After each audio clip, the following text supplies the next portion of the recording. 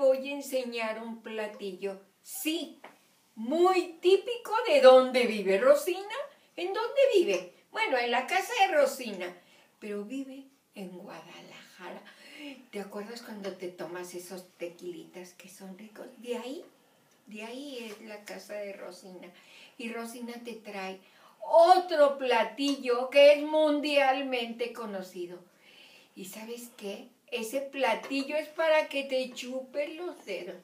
Es así como picantito, como de recuerdos, como de cosas bellas, que a lo mejor tú, que no vives ya en nuestro país, te vas a acordar de ellas y si no, y si no has vivido, vas a conocer más de la gastronomía de Jalisco y del mundo. Fíjate, ahora vamos a utilizar nuevamente esos hermosos tomates de la milpa. Sí, los tomates de la milpa. Pero ¿sabes cómo los vamos a usar? Los vamos a usar en crudo. Porque todo se va a cocer con esa carnita tan rica que vamos a hacer su carne en su jugo. Si no sabes, este platillo es muy típico de aquí de Jalisco, igual que las tortas ahogadas. Así es que vámonos directamente a preparar tu carne en tu jugo, que es deliciosa, es rica, es picantita y te la vas a comer. Aquí ya tenemos nuestra cebolla que tiene que, que estar muy fileteada, muy delgadita, lo más delgadito que puedas.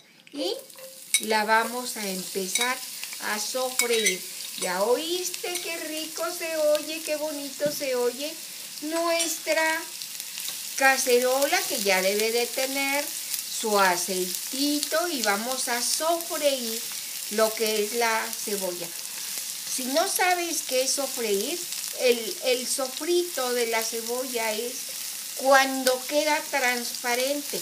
Por eso ahorita Rosina le está dando vueltas, le da una paseadita a la cebolla, porque también forma parte de lo, de lo hermoso que tienes para guisar que lo hagas con la mejor actitud.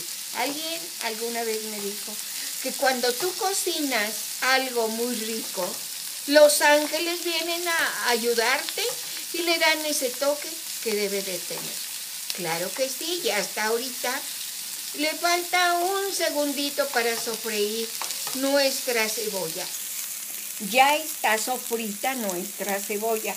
¿Ya oliste que huele, qué rico huele hasta donde estás? Sí, porque tú también la estás haciendo conmigo.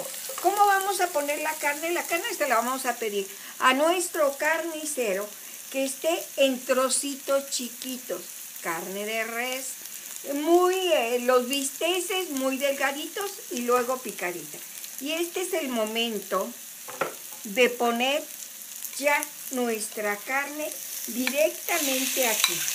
Tú le, tú le vas a calcular, yo no te doy cantidades específicas porque tú dependiendo de la gente que vaya a comer esto, pues se la pones. Aquí le vamos a poner, es más o menos aproximado un kilo de carne, como para, como para seis personas, pero si les gusta mucho, ¿sabes qué van a hacer? No te va a alcanzar la carne, vas a tener que ponerle más. Y aquí dejamos nuestra carne a que se sofría. Te voy a explicar por qué. Porque en el momento de que la carne empiece a soltar su jugo, ese es el momento de poner lo que ya tendremos molido, como son nuestro tomate, cilantro, ajo, los chiles picantitos. Y ya viste qué rápido se está sofriendo. Mira, ya está nuestra carne soltando el jugo. Fíjate, voy a hacer la carne a un ladito para que veas que lo que está saliendo es el jugo de la carne. Por eso se llama carne en su jugo. ¿Qué queda ahorita? ¿Qué crees? A ver si aprendiste la lección. ¿Qué va a quedar? Que le pongamos su salsa, su salsa rica, su salsa sabrosa que ya tenemos aquí molida, que tomate, cilantro, ajo y un poquitito de agua. sobre todo para la molienda. Y la vamos a dejar aquí a que se rehogue o que se llene la carnita de esos sabores tan ricos. Y este, este es el momento en que le vamos a, agregar, ¿qué crees? Una pizca de sal. ¿Cómo puede ser la pizca de sal? Lo que tomen tus tres dedos. ¿Por qué? Ahorita te voy a decir por qué. Porque le vamos a poner también tantito sazonador para que no le pongan, para que sea una comida muy natural, muy rica y que se las puedan comer todos en tu casa. Aquí está el sazonador, le damos una meneadita y ¿qué crees? Lo vamos a dejar hervir entre 15 y 20 minutos. Después de pasado ese tiempo, le vas a rectificar su sal. Yo pienso que le falta una pizquita de sal. De una vez se la ponemos. De una vez le ponemos la pizquita de sal aquí y ¿qué crees? A taparlo y a que hierva 20 minutos. Aquí ya está tapadito nuestra carne en su jugo. La destapo y mira qué ricura de platillo te vas a comer ahora. Sí, porque quiero que vengas a mi casa, a la casa de Rosina. Acuérdate en YouTube y también en el Face. Tengo muchísimas recetas así como esta que está deliciosa. Ya le apagamos. Vamos a probar si está bien los condimentos. Aquí le por un ladito sin que te quemes. Sin que te quemes porque si no imagínate, pues no te vas a poder comer lo que es tu carne en tu jugo. En su punto.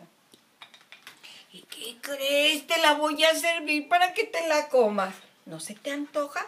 Claro que se te tiene que antojar. Fíjate cómo se sirve aquí en Jalisco. Yo estoy dando la receta más natural porque a lo mejor en los lugares donde tú vives no está. Vamos a servir, mira nada más, la carne ya se coció. Aquí le puedes poner mucha, poquita, según porque a veces tenemos gente que come mucha carne en nuestra casa. Y le vamos a poner un poquito de la salsa que ya está impregnada de los olores aquí. Pero falta un ingrediente muy especial que también lleva la carne en su jugo. Hice unos frijoles de esos que te encantan de los chinitos y se los vamos a poner en la parte de arriba. En la parte de arriba, así. Así es como se sirve la carne en su jugo. Así es como se degusta con las familias de Jalisco y de todo el mundo, y de todo el mundo. Acuérdate, visítame en mi canal de YouTube y come rico conmigo. ¿Y sabes qué? Nos vemos en la próxima porque me vas a decir que quieres que te haga de comer de cualquier lugar de la República. Te daré el gusto. Nos vemos en la próxima.